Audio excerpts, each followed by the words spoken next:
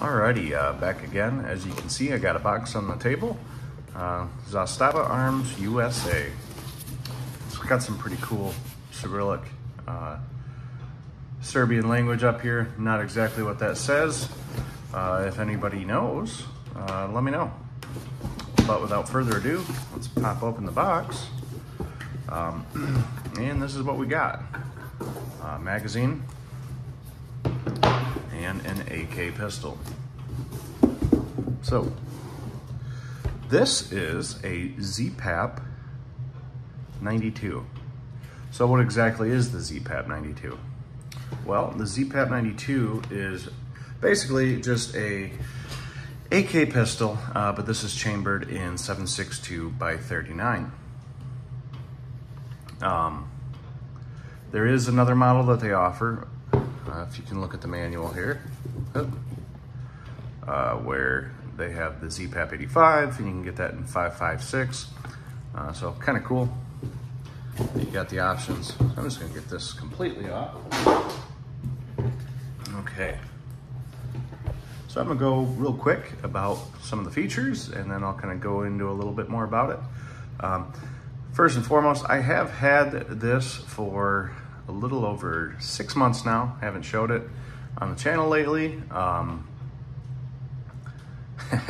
uh, just things got wait for me, so I'm obviously trying to get more content out there, uh, trying to show some of my backlog here. Um, but real quick, um, it is chambered, as I said, in 762 by 39. Uh, it does come with a standard magazine. Uh, this is a pretty nice magazine. It's got uh, a steel lug here at the back, steel little lug up here at the front, and it is polymer. Um, and that's a steel follower here, as well as a steel base plate. So pretty nice. I've had pretty good luck with this one. Uh, and it fits in nice. A little bit of wiggle, but nothing really crazy. Uh, so what is some of the other features? Uh, this is a 10 inch barrel. So uh, it's obviously a pretty short barrel for a rifle round. Uh, this really screams out of there, makes some pretty nice fireballs. Uh, if I get to it some night, maybe I'll film some of the fireballs. It's pretty impressive. Uh, but that being said, uh, this is a chrome line barrel as well. so the older OPAPs and NPAPs, they didn't really have the, uh, the chrome lining. Uh, so that was definitely one of the things that people kind of gave the uh, PAP series uh, a little bit of a hard time. Um, the other being that it doesn't accept standard AK accessories uh, in terms of, you know, this obviously is a pistol, so it doesn't have a stock. Um, but with the fore grip here, or the fore stock here, um, it's a little longer, so it's not exactly apples to apples, but you do have options in the aftermarket community. Um, another big cool uh, feature of this is this is a 1.5 millimeter stamped receiver, uh, so it's all steel stamped, so it's definitely thicker. Uh, the Serbs, well, it used to be the Yugoslavians, um, but the Serbs, uh, they made a rifle, the M70, for um, military purposes, and that led to them basically developing for grenade launching abilities. So they beefed up the receiver and they added this bulged trunnion. So as you can see, uh, it's got a very nice uh, bulged trunnion there. Uh, really it's hard to really see, but really wraps down in there and fills it up. Um, so that is another thing to note. Uh, it is a, in their quote unquote words, corrosion resistant hard nickel moly steel bolt carrier. Uh, so it is in the white, but I think it kind of looks cool. Uh, it's a little bit of flash there. Um, machining wise, there's a couple little rough spots here and there, but I'm not gonna complain about it. Um, another really defining feature on this. Uh, some of the models don't come with this little rail section here uh, on top. Uh, it's for a red dot optic. Uh, this particular model does, and it also has a rail section at the back. Uh, so you can put a brace or something like that, uh, or you could SBR it if you wanted to go that route. But one of the coolest features is, is it is a hinged top cover. So it has a very nice hinged top cover there. So it's built into that front trunnion and it just hinges around. Makes it real easy to get inside uh, and, and, clean it and service it. Um, and really, it's just kind of a cool feature, uh, quite a bit different than you know your standard AKs. Um, so uh, another thing, it has a safety lever here with a bolt hold open notch on the safety selector. So that is kind of a cool feature, comes standard.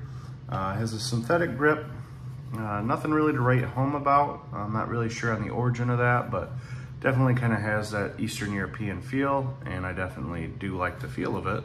Uh, it's definitely comfy. Um, and has a nice wood handguard up here. Um, also, pretty cool, is it does have Krink style sights. So as you can see there, uh, these do fold down. You get a four and a two uh, for different ranges. And so that just folds up. And then on the front sight here, it does flip down and you can get just a post or you can fold it up and you'll have a dot. Um, another thing to note is it does have a booster brake. So uh, this is a pretty cool looking Krink style booster brake. Um, I really like the look of it. That's really what led me to pick this one. Um, but yeah, I think it has a lot of cool features. Um, it has the 90 degree block here.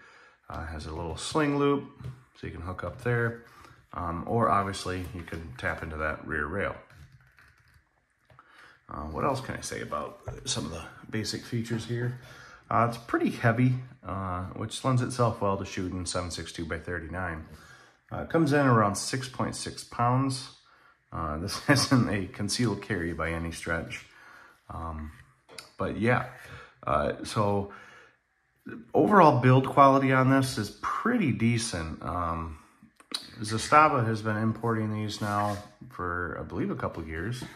Uh, it was up to Century Arms back in the day, but in terms of, you know, rivets, they look nice. Everything's flush pretty decently.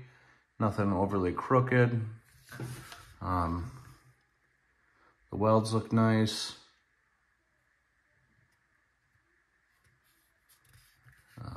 the grip, or the foregrip here.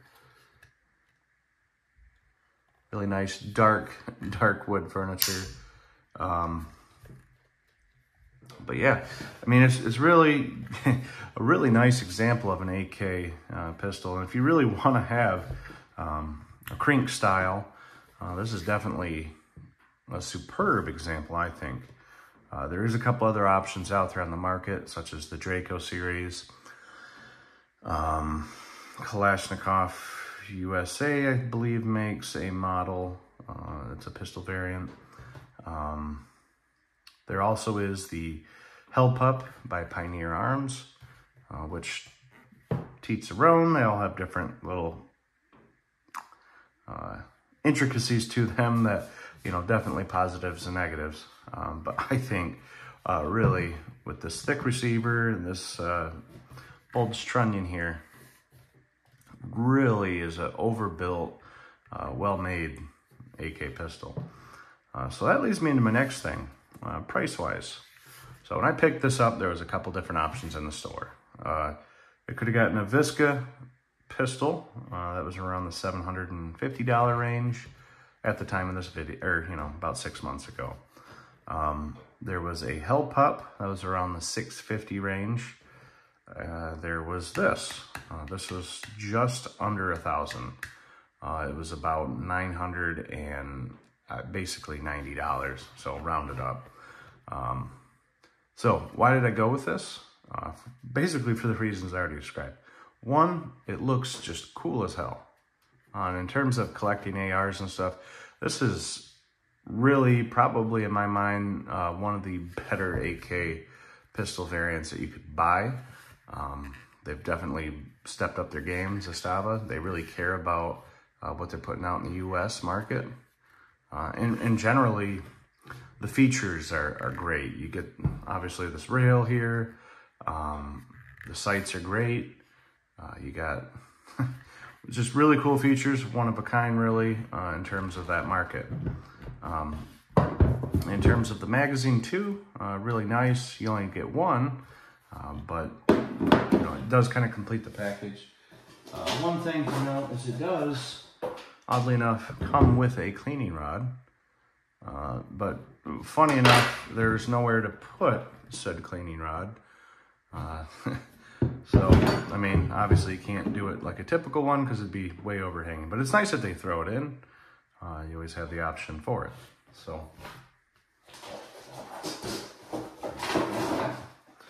but yeah, I mean, let me know what you guys think. Uh, is this as cool? You guys think this is as cool as I do? Um, uh, like I said, in the future, I'll do some shooting videos with this and stuff. Uh, maybe some night shots, trying to show, you know, the fireball and whatnot. Because uh, this is a lot of fun. Um, it's not a real long distance shooting gun. Uh, I have dispatched a couple of raccoons with it and uh, worked very well. Um, all I've ever really shot through it is steel case ammo, um, mostly Wolf. So haven't had any issues, uh, no hangups.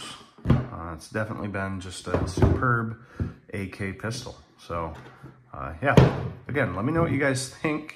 Uh, you know, what do you, what would you like to see me do with this? Um, you know, uh, yeah, so cool. I just thought I'd kind of show it off and kind of tell a couple of the features about it and uh, really sing the praises of this uh, as a, a sample for anybody looking into getting an AK pistol. Um, yeah, so alrighty. Well, thanks for watching and uh, I'll keep you posted soon.